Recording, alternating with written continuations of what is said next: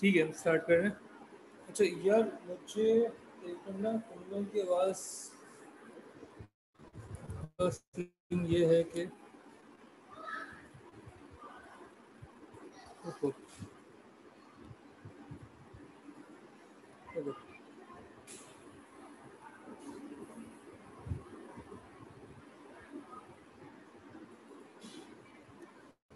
ठीक है यार अनफॉर्चुनेटली हम सैटरडे को क्लास कंडक्ट नहीं कर सके। कॉलेज ने लास्ट मोमेंट में अनाउंस किया कि वो बंद रहेगा फॉर सम रीज़न तो हमारी कोई क्लास हो नहीं सकी सैटरडे को। अभी हमने ये करना है कि हम स्टार्ट करेंगे but we suppose to do on Saturday लेकिन मैं चाह रहा था कि यार इस टॉपिक को हम फिजिकली ही देखें वो हम कल इंशाल्लाह देखेंगे। आ, तो अभी ना मैं समझ लो तमहीद बाँध देते हैं इसकी कि हम बेसिकली पढ़ना क्या चाह रहे हैं। और कल की क्लास में इंशाल्लाह फुल फ्रेश तरीके से करेंगे ताकि हम इस चैप्टर को कल थियोरेटिकली ख़त्म कर सकें। ठीक हो गया। एक बार लास्ट बार मुझे क्लियर कर देना कि बिल्कुल ठीक है आवाज़, कोई कन्फ्यूज़न है? ओके बता दो। गो हेड दे दो मुझे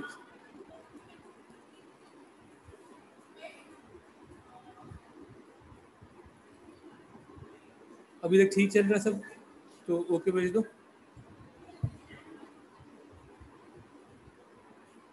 कोई कन्फ्यूज़न है बता दो। दो तीन लोगों के मैसेज आए मेरे पास क्लास कंडक्ट नहीं कर पा रहा बिकॉज़ ऑफ़ सम रीज़न इन लोगों के लिए दुआ करें।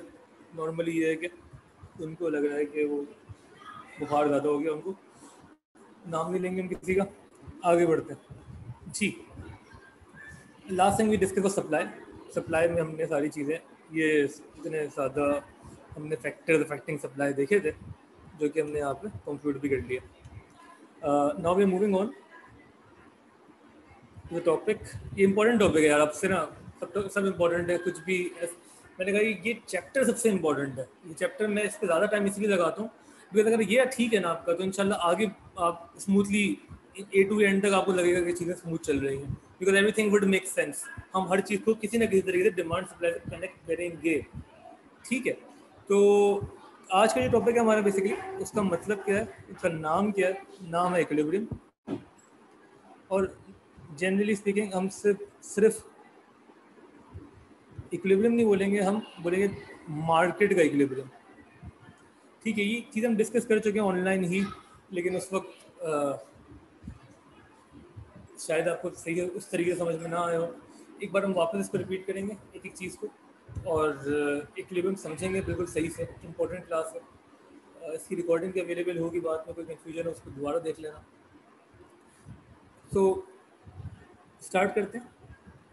अगर किसी को याद हो, हमने जब डिस्कस किया था पहले, अगर हम पूछोगे what do mean by equilibrium सिर्फ़ एक सवाल है what do mean by equilibrium one mark तो हम इक्विलिब्रियम को डिफाइन किस तरीके से करते हैं? How do we define equilibrium पहले इक्विलिब्रियम समझते हैं then will talk about the total market equilibrium ठीक है? इक्विलिब्रियम क्या है हमारे लिए?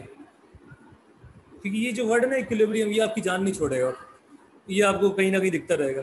तो इक्विलिब्रियम का मतलब क्या हमारे लिए? वन वर्ड में डिफाइन करें हम इक्विलिब्रियम को तो what do we mean by equilibrium जी, हमजा, अरीम, क्या सीन है? Anusha, Ariba, Hasnain, Naveera how do we define an equilibrium ये डिस्कस किया था हमने लास्ट टाइम भी।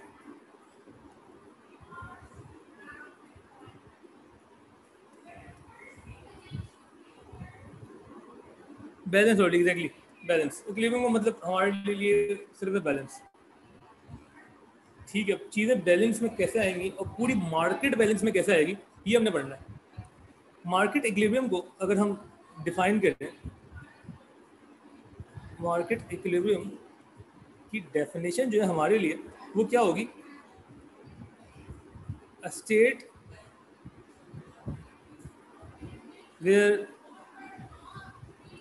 there is no shortage or excess of goods या कमोडिटीज इसको हम फर्दर एक्सप्लेन करते हैं। हम कभी क्या कह रहे हैं? ये एक ऐसी स्टेट है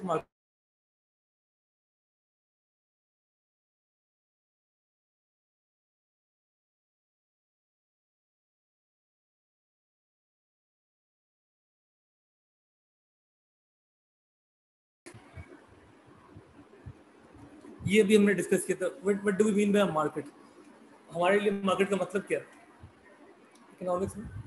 हर चीज़ को बड़ा क्रिस्पली डिफाइन करते हैं। जी। मार्केट का मतलब क्या? सप्लाई डिमांड बैलेंस अब ठीक है। और मार्केट का मतलब क्या होगा?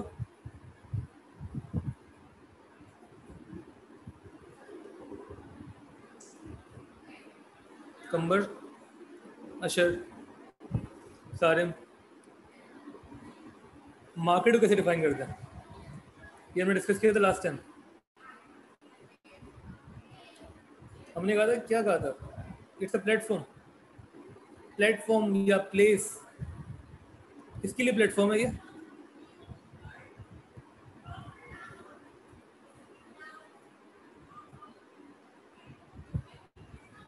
कंज्यूमर प्रोड्यूसर मीट बिल्कुल ठीक प्लेस विच लिंक्स पार एंड बिल्कुल ठीक है। प्लेस या platform producers and consumer meet या विच लिंक्स बिल्कुल ठीक है। वेयर प्रोड्यूसर्स एंड कंज्यूमर्स ये लिखते रहे साथ साथ। Meet to perform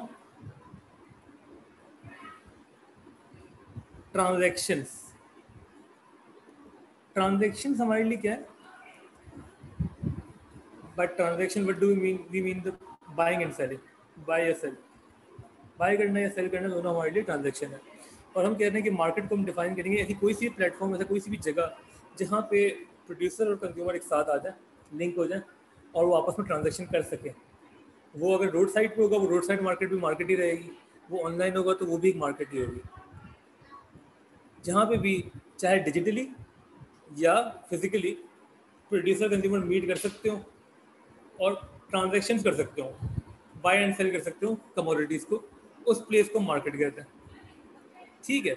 और हम पढ़ रहे हैं मार्केट का इक्विलिब्रियम मार्केट का बैलेंस मार्केट के बैलेंस को we are defining market equilibrium को we are defining as a state एक ऐसी स्टेट है ये where there is no shortage और एक्सेस ना शॉर्टेज है तो ना कोई कमी है, ना ही कोई जाती है, ना ही कोई ज़्यादा गुड्स है।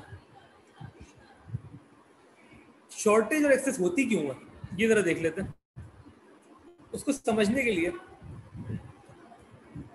इक्लिबियम का पहला ग्राफ जो आपको सामने है, वो मैं पेश करता हूँ। वो है ये डिमांड और ये सप्लाई अब से हम जितने भी ग्राफ बनाएँगे unless the question ask specifically वो सारे ग्राफ डिमांड और सप्लाई दोनों को शो करेंगे। अब से हम जितने ग्राफ बनाएँगे, वो सारे ग्राफ डिमांड और सप्लाई दोनों को शो करेंगे unless the question has asked specifically कि यार आप सिर्फ़ डिमांड का कर्व दिखाएँ या सिर्फ़ सप्लाई का कर्व दिखाएँ, जो हमने इससे पहले किया है। अगर क्वेश्चन में बोला हो, अगर मेंशन कर दिया हो कि भाई सिर्फ़ डिमांड का कर्व चाहिए हमें या सिर्फ़ सप्लाई का कर्व चाहिए तो वो आप करेंगे। वरना अगर उसने कुछ नहीं बोला तो वज्यूम यही करेंगे डिमांड सप्लाई दोनों दिखाना ठीक है? Demand supply demand supply excess पे क्वांटिटी ओरिजिन प्राइस अलहमदिल्ला हम सबको ग्राफ बनाना आ गया इक्विलिब्रियम को हम डिफाइन इस तरीके से करते हैं बेसिकली जहाँ पे एक्सेस ना हो और जहाँ पे शॉर्टेज ना हो एक्सेस और शॉर्टेज होती क्यों है उसका रीज़न ये है कि जब भी प्राइसेस सेट होती है मार्केट में प्राइसेस नॉर्मली हमें ये लगता है कि प्रोड्यूसर सेट करता है ना एक ले मैं नहीं सोचता ना कि प्रोड्यूसर सेट करता है प्राइस जब मैं अगर कोई चीज़ बेच रहा हूँ तो मेरी मर्ज़ी में कितने की बेचूँ सही है ना गवर्नमेंट मुझ पर कोई बैन थोड़ी लगा रही। प्रोड्यूसर बिल्कुल तय तो करता है बट क्या वो प्राइस प्रिवेल करती है मार्केट में? सवाल हमारा ये है, दराज की वेबसाइट मार्केट हुई, बिल्कुल मार्केट हुई, दराज की वेबसाइट भी मार्केट है। हमारा सवाल ये है कि प्रोड्यूसर ने फॉर एग्ज़ाम्पल ये हम बात कर लेते हैं, हमने बात की थी टी शर्ट थी ना लास्ट टाइम कि आपने यार सोचा कि मैं कुछ एक्स्ट्रा पैसे कमाना चाह रहा हूँ, आपने थोड़ा बहुत रिसर्च की आपने कहा यार मैं टी शर्ट जो है वो इतने की मुझे मिल जाएँगी उस पर अच्छे से प्रिंट्स बना के मैं कॉलेज में आगे बेच दूँगा। एक जनरल कमोडिटी नॉर्मली लोग खरीदते हैं। तो आपने कहा सही है। आपने अपनी कॉस्ट वॉस्ट निकाली जो भी हुआ। कॉस्टिंग की तरफ़ हम जा ही नहीं रहे अभी वो एक अलग पूरा चैप्टर है। आ, आपने प्राइस डिसाइड की। फॉर एग्ज़ाम्पल आपने बोला यार कि मैं वो जो टी शर्ट्स हैं वो बेचूँगा फॉर फाइव हंड्रेड ईच उस फाइव हंड्रेड आपने देखा, आपने फॉर्म दे दिया लोगों को ऑनलाइन फॉर्म शेयर की लिंक शेयर कर दी व्हाट्सएप ग्रुप पे यार, जिसको भी टी शर्ट चाहिए वो रजिस्टर करा लो। ये टी शर्ट है, ये डिज़ाइन है, पाँच सौ रुपये की मैं टी शर्ट बेच रहा हूँ। ठीक है, उस पाँच सौ पे you are willing to sell for example two hundred units of T shirts या टू हंड्रेड ही कर लेते, चलो ठीक है। लेकिन जो रजिस्ट्रेशन आई आपके पास फोर डेट फाइव हंड्रेड वो आई बिल्कुल सिर्फ़ और सिर्फ़ सौ। ऐसी स्टेज को जहाँ पे सप्लाई जो है, वो डिमांड को आउटवे कर दे at this price you are willing to supply more than the actual demand supply जो है, वो डिमांड को आउटवे कर दे। इसको मैं लिख लेता हूँ और आप भी कॉपी कर लें साथ साथ ये ये टर्मिनोलॉजीज जो है ना, ये बड़ी इंपॉर्टेंट है। इस प्राइस को ना 500 को हम फॉर एग्जांपल कर लेते हैं P1 ठीक है? तो at T1 supply outweighs demand outweigh का मतलब क्या है हमारे लिए? सप्लाई ज़्यादा है। डिमांड से।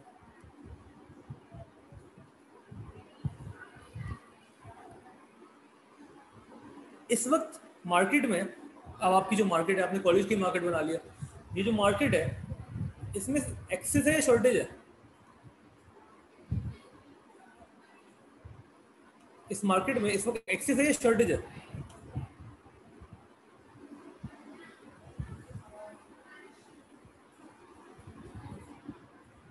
जी, अशर, कंबर, नवीरा हरीम ठीक है Hariba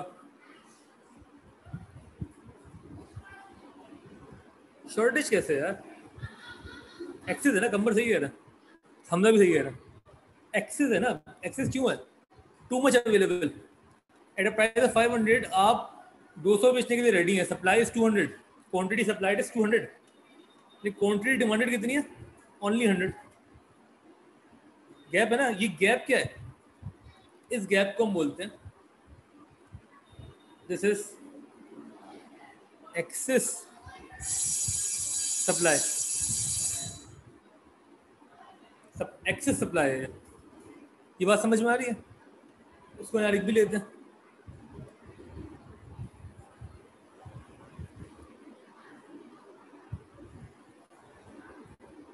excess supply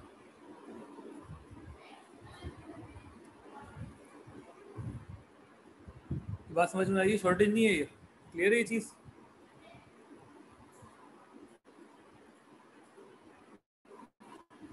Abdul Aziz Anusha, Ariba okay five hundred पे एक्सेस सप्लाई एक्सेस सप्लाई क्यों है? बिकॉज़ प्राइस इतनी ज़्यादा है कि जो प्रोड्यूसर है, वो willing and able to sell बहुत ज़्यादा है। कंज्यूमर जो है, वो इतना रेडी नहीं है खरीदने के लिए। उसके लिए प्राइस बहुत हाई है।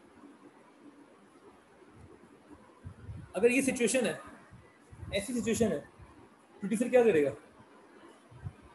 यार वो आप तो चाह रहे थे यार इस, अगर ये प्राइस सेट हो गई ना तो मैं दो सौ टी शर्ट ऑर्डर कर लूँगा और बेच दूँगा।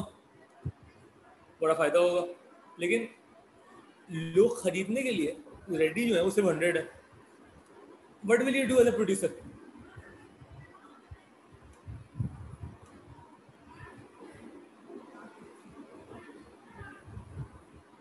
जी एज अ प्रोड्यूसर आप क्या करेंगे इस वक्त? डिग्री से प्राइस ये बात समझ में आ रही है बाकी लोगों को? अगर आप इतना, इतनी क्वांटिटी ले आए मार्केट में कि लोग खरीदने के लिए अवेलेबल रेडी नहीं है, और इस प्राइस पे आपको दिख रहा है यार कि क्वांटिटी डिमांडेड बहुत कम है सिर्फ़ सौ लोगों ने रजिस्टर किया, और आपको सोचा था कि मैं दो सौ बेच दूँगा खुशी खुशी अब क्या करेंगे?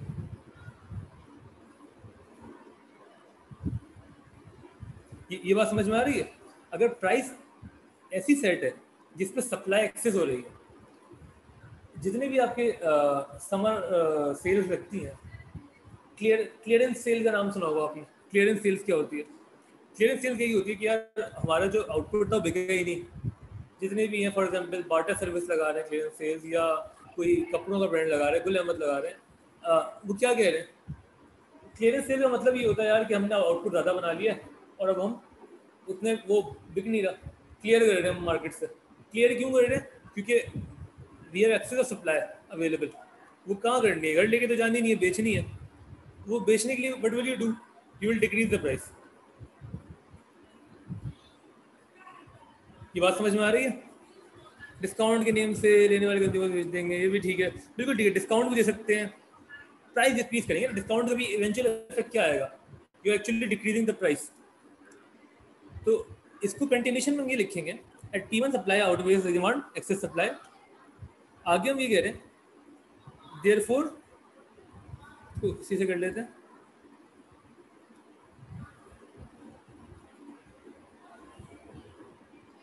There is a downward pressure on price. जब भी एक्सेस सप्लाई होगी प्राइस पे एक डाउनवर्ड प्रेशर होगा डाउनवर्ड प्रेशर प्राइस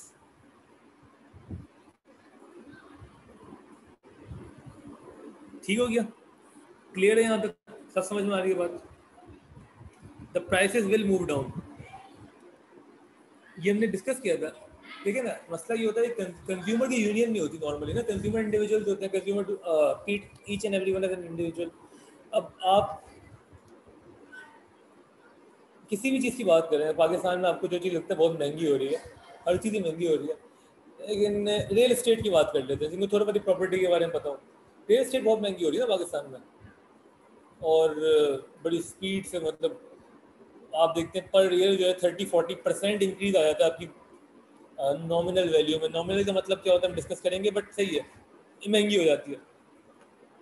वो अगर एक आसान तरीका बताएँ कि यार वो प्राइस हमने नीचे लानी है। अभी हम चाहते हैं कि एक डाउनवर्ड प्रेशर हो प्राइस पर।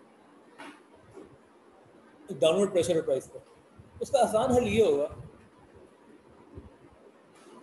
कि सारे कंज्यूमर मिल जाएँ और बोले, यार कि हम खरीदेंगे ही नहीं।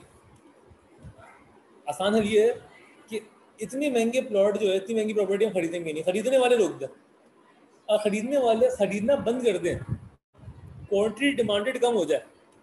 क्वांटिटी डिमांडेड जब भी कम होगी एट एनी पर्टिकुलर प्राइस जब आपको दिखेगा कि यार फॉर एग्जांपल हम ये प्लॉट इतने का बेच रहे हैं पी वन का बेच रहे हैं, और इतने सारे प्लॉट्स अवेलेबल हैं हमारे पास, लेकिन लोग खरीदने को रेडी नहीं है।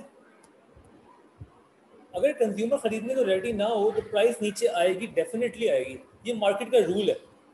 ये रूल है मार्केट का। हर मार्केट का ये रूल है कि अगर कंज्यूमर रेडी ना हो, उस प्राइस पे खरीदने के लिए तो द प्राइस के ऊपर एक डाउनवर्ड प्रेशर डेफिनेटली आएगा। ये बात समझ में आ रही है ना? अच्छा कंज्यूमर रेडी है अगर तो कोई प्रेशर नहीं है।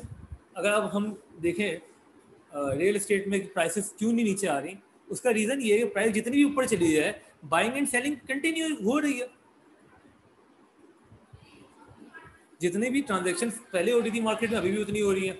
हाँ थोड़ा बहुत अदर फैक्टर्स की वजह से थोड़ा बहुत ग्रेजुअल चेंज आता है, लेकिन generally speaking buying and selling वैसी चल रही है।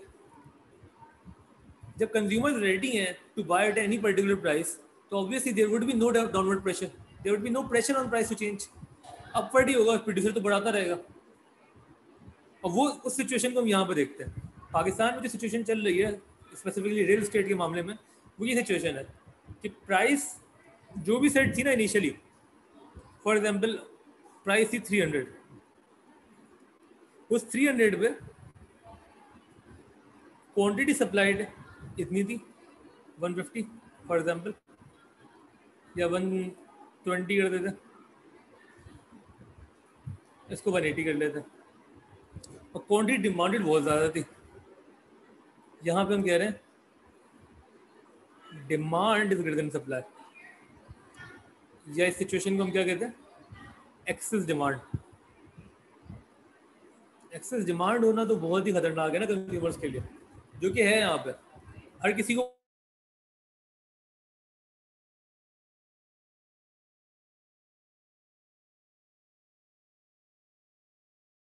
गई है। जिस वजह से क्या हो रहा है? अगर हम उसको P2 बोल दें, at P2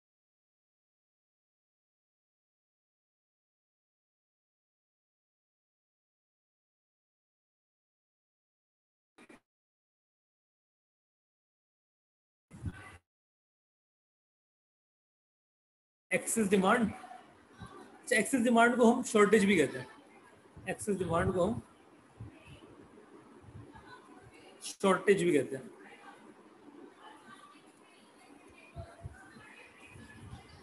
इस वक्त प्रेशर क्या होगा प्राइस पर? कि आपने यार बोला कि यार मैं टी शर्ट तीन सौ की बेचूँगा, और बहुत खूबसूरत सा प्रिंट है ये। आप लेकर आए वन एटी टी शर्ट्स आपने कहा यार कि इस पे मैं सॉरी आप वन ट्वेंटी टी शर्ट लेकर आए। और क्वांटिटी डिमांडेड आपने देखा यार वन एट्टी है। रजिस्ट्रेशन फॉर्म भर गया है, तब भी लोग बोल रहे हैं, मुझे और चाहिए। टी शर्ट खरीदने वाला, आपने सारी टी शर्ट भेज दी, पीछे तब भी लाइन खड़ी हुई है। जितना आप प्रोडक्ट लेकर आए मार्केट में 120 यूनिट्स उससे ज़्यादा खरीदने को लोग रेडी हैं ऑन दैट प्राइस क्या करेंगे आप? एनी प्रोड्यूसर क्या करेगा? ऐसी सिचुएशन में। मैं दोबारा बता देता हूँ, मैं बता देता हूँ। मुझे सिर्फ़ ये बताएँ कि ऐसी सिचुएशन में जहाँ पे आप इस प्राइस पे 180 सॉरी 120 सेल करने को रेडी है सप्लाई कर पे जाएँगे ना? किसी भी हमने देखनी क्वांटिटी सप्लाइड कितनी है तो आपने 300 से गए सप्लाई कर पे, नीचे आ गए। एक सेकेंड इसको यहाँ से देख लेते हैं। जी 300 से आप गए सप्लाई कर पे और नीचे आ गए। कितना हो गया? 120 यूनिट्स ये अभी क्वांटिटी सप्लाइड है एट अ प्राइस ऑफ़ 300 लेकिन आपने देखा उस प्राइस पे 180 लोग अवेलेबल हैं खरीदने के लिए। क्या करेंगे आप? जब एक प्राइस पे इतने ज़्यादा लोग अवेलेबल हैं, क्या होगा? ये बात समझ में आ रही बाकियों की भी? हारिस लेट ज्वाइन किया था हाशिर लेट ज्वाइन किया तुमने। हसन, हरीम, हमजा। क्या कह रहे हैं? सप्लाई इंक्रीज हो जाएगी। सप्लाई इंक्रीज हो जाएगी? नॉट एग्जैक्टली प्राइस इंक्रीज होगी। क्वांटिटी सप्लाई बढ़ेगी इवेंचुअली सही कह रही हैं आप, लेकिन अभी हम क्या कह रहे हैं? अगर ऐसी कोई सिचुएशन है कि जहाँ पे डिमांड आउट घट जाए सप्लाई का प्राइसेस डेफिनेटली बढ़ेंगी डेफिनेटली जिस भी चीज़ में आपको दिख रहा है ना कि प्राइसेस बढ़ रही है मेजोरिटी में आपको ये केस दिखा दिया डिमांड बहुत है इस चीज़ की there for there is an upward pressure on price.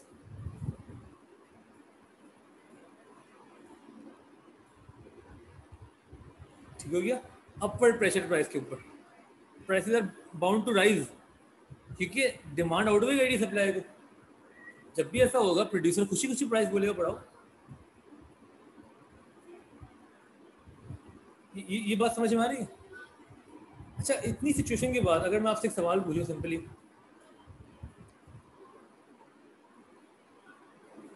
who decide the prices या इसी को मैं और वर्ड चेंज चलिए बोलूँ कि what determines the price of any commodity किसी भी चीज़ की प्राइस किसी भी चीज़ की price what determine the price of any commodity क्या जवाब होगा इसका?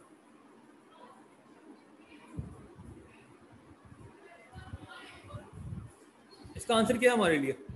What determine the price of any commodity किसी भी चीज़ की प्राइस कहाँ से आएगी? It's need not exactly demand supply अनुसार बिल्कुल ठीक। इट्स डिमांड एंड सप्लाई दोनों चीज़ें। Consumer head prices the demand determine the price not exactly दोनों चीज़ें। दोनों चीज़ें। आधी बात कर रहे हैं आप। Demand obviously plays an important role yes but supply भी सप्लाई का भी इंपॉर्टेंट रोल है। सप्लाई का भी उतना ही इंपॉर्टेंट रोल है। तो the answer is the market forces of demand and supply demand और सप्लाई बताएँगे आपको कि यार कोई भी चीज़ जो कितने की बिकेगी? उसकी डिमांड और सप्लाई दोनों चीज़ें मिला के। सप्लाई की चेंज होने से भी फ़र्क पड़ेगा कैसे पड़ेगा हम देखते रहेंगे अभी। दो, दोनों की जो डिमांड और सप्लाई कंडीशन एक साथ हम देखेंगे फिर हमें समझ में आएगा अच्छा ये। अब अगर हम बोलें कि प्लॉट्स की हम बात कर रहे हैं फॉर एग्ज़ाम्पल खाली प्लॉट जो है जिसमें बिल्डिंग नहीं बनी हुई वो अगर उसकी सप्लाई खत्म हो जाएगी यार सारे प्लॉट जो है वो बन गए और बहुत ही कुछ प्लॉट बाकी हैं सिर्फ़। प्रेशियस रह जाएँगे ना वो प्लॉट कराची में हम बोले सारे प्लॉट बन चुके हैं कोई प्लॉट ही नहीं है, कोई प्लॉट ऑफ़ लैंड अवेलेबल ही नहीं है। तो अगर जो रिमेनिंग प्लॉट ऑफ़ लैंड होंगे, बहुत ही थोड़े से, उनकी प्राइस बहुत ज़्यादा होगी। रिस्पेक्टिव ऑफ़ द डिमांड तो जितना ही इंपॉर्टेंट डिमांड है, उतना इंपॉर्टेंट सप्लाई है। हाँ ये बात समझ में आनी चाहिए कि कंज्यूमर को अपनी पावर का पावर की ना अंदाज़ा नहीं होता। हाँ प्रोड्यूसर को पता होता है कंज्यूमर की कितनी पावर है। आप किसी अच्छी कंपनी में जाएँगे, इंशाल्लाह तो आपको आपको पहला पहला लेसन नहीं वही सिखाएँगे। अगर आप कस्टमर सर्विस में हैं या आप सेल्स में हैं, पहला लेसन नहीं सिखाएँगे। पहला लेसन ये होता है, भाई consumer is the king the consumer is the king वो जो भी बोल रहे ठीक है, आपने उसको ओके करना है। उसकी, उसका ख्याल रखना है आपने। कंज्यूमर बोले, यार, मुझे ये कलर नहीं चाहिए तो नहीं चाहिए। बुरा है वो कलर कंज्यूमर बोले कि, यार क्वालिटी अच्छी नहीं है तो अच्छी होनी चाहिए। डिमांड को हम बहुत ज़्यादा इंपॉर्टेंस देते हैं और अच्छी कंपनीज़ देती हैं, जब भी वो फ्लरिश भी करती हैं। जो नहीं देती, वो फ्लरिश नहीं कर पाती। ये खैर बिज़नेस स्टडीज़ की सारी कहानी है, आपको समझ में आएगी। लेकिन अगर हम, क्योंकि हमारे लिए इंपॉर्टेंट है प्राइस और प्राइस को ना प्राइस को मैं और एक बेहतर वर्ड यूज़ करता हूँ प्राइस के लिए। वो है वो है वैल्यू किसी भी चीज़ की वैल्यू की बात हो रही है। किसी भी चीज़ की वैल्यू कहाँ से मिलेगी आपको? कितना वैल्यूएबल है कोई भी चीज़, कोई भी इंसान, उसकी भी वैल्यू अगर आप लगाएँगे तो घूम फिर के आप यहीं पाएँगे क्या उसकी डिमांड कितनी है? उसकी सप्लाई कितनी है? इसको हम और डिस्कस करेंगे। लेकिन अभी के लिए थोड़ा होपफुली समझ में आ रहा है। अच्छा अभी जो हम पढ़ रहे हैं इक्विलिब्रियम अच्छा ये दो दो केसेस जो हमने पढ़े, ये दोनों केसेस ये दोनों केसेस जो हैं these are the states of disequilibrium चाहे एक्सेस डिमांड हो या एक्सेस सप्लाई हो, वो दोनों डिसइक्विलिब्रियम है। इन दोनों को हम डिसइक्विलिब्रियम बोलेंगे। डिसइक्विलिब्रियम को डिफाइन ऐसे करेंगे state where there is excess supply और एक्सेस डिमांड इक्विलिब्रियम क्या होगा? A state where there is no shortage no excess ठीक है? और इक्विलिब्रियम होगा कैसे? तो ये मैं इसको रैप अप कर रहा हूँ, बस पाँच मिनट के अंदर हो। हम बेसिकली ये कहना चाह रहे हैं कि आपने प्राइस कहीं भी सेट की ना प्राइस आपने कहीं भी सेट की, चाहे आपने ऊपर कहीं कर दी या नीचे कहीं इवेंचुअली होगा क्या? प्राइस पे कोई प्रेशर होगा, या तो डाउनवर्ड प्रेशर होगा, या अपवर्ड प्रेशर होगा। ये प्रेशर सिर्फ़ तब नहीं होगा, सिर्फ़ तब नहीं होगा, सिर्फ़ तब नहीं होगा जब प्राइस ऐसी सेट है। ऐसी प्राइस जिस प्राइस पे। जो क्वांटिटी डिमांडेड है, वही क्वांटिटी सप्लाइड है। वो प्राइस जहाँ पे डिमांड और सप्लाई एक दूसरे को इंटरसेक्ट कर रहे हैं डिमांड सप्लाई मिल रहे हैं आगे। ये वो प्राइस है, ये इस पॉइंट पे वो प्राइस मिलेगी आपको, जब सब खुश है। जितना आप मार्केट में माल लेकर आए, उतना माल उतना माल बिक गया। No excess no shortage consumer को कोई टेंशन नहीं प्रोड्यूसर को कोई टेंशन नहीं। एट पी नॉट, इसको भी लिख लें, मैं साथ साथ लिख रहा हूँ। At P naught, demand is equal to supply. इससे पहले क्या था? पी टू पे हमने देखा कि demand was more than supply P one पे हमने देखा कि demand was less than supply या सप्लाई वॉज़ ग्रेटर डिमांड एक ही बात है। यहाँ पे demand is equal to supply demand supply equal हो गए हैं। इस प्राइस को हम मार्केट क्लियरिंग प्राइस भी कहते हैं, क्योंकि यहाँ पे आपके मार्केट में जो भी आया वो क्लियर हो गई चीज़ें। कुछ रुका नहीं मार्केट में। मार्केट क्लियरिंग प्राइस इस प्राइस को ही हम इक्विलिब्रियम प्राइस कहते हैं। इक्विलिब्रियम अचीव हो गया। Everything is in balance demand supply equal हो गए और इस प्राइस को हम मार्केट प्राइस भी कहते हैं।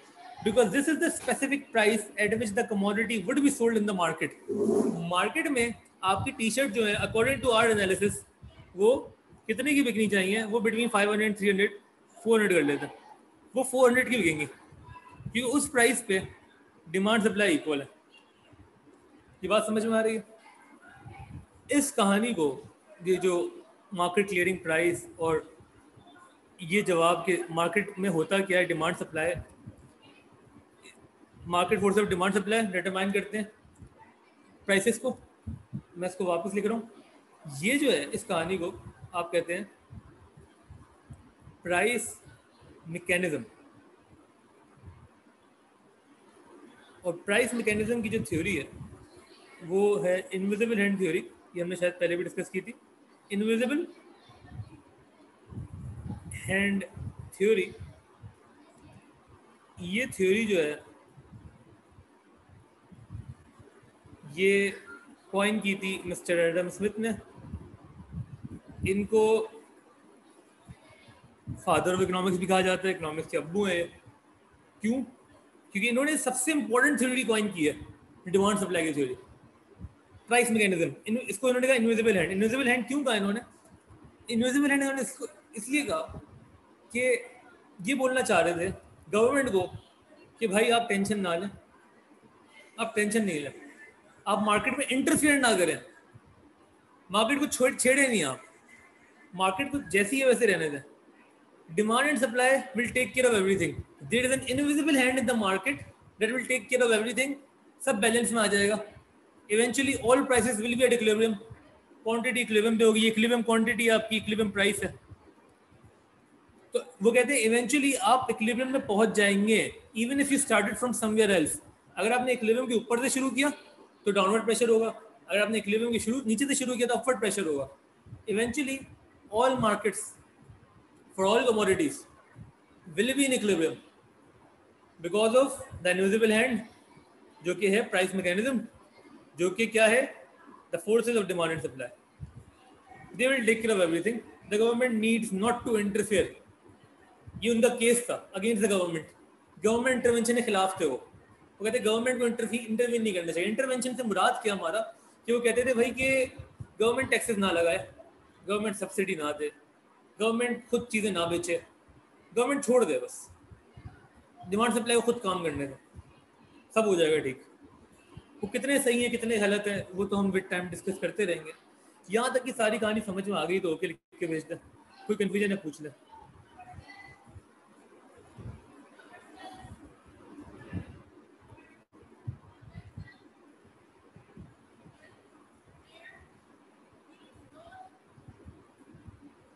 जी, बाकी लोग, अनुषा, अरीबा, हमजा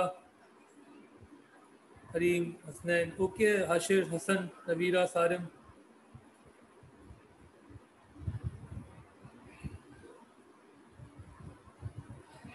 कोई कन्फ्यूज़न है, पूछ लो। हमने सब ये डिस्कस किया कि at that price demand supply equal हो जाएँगे।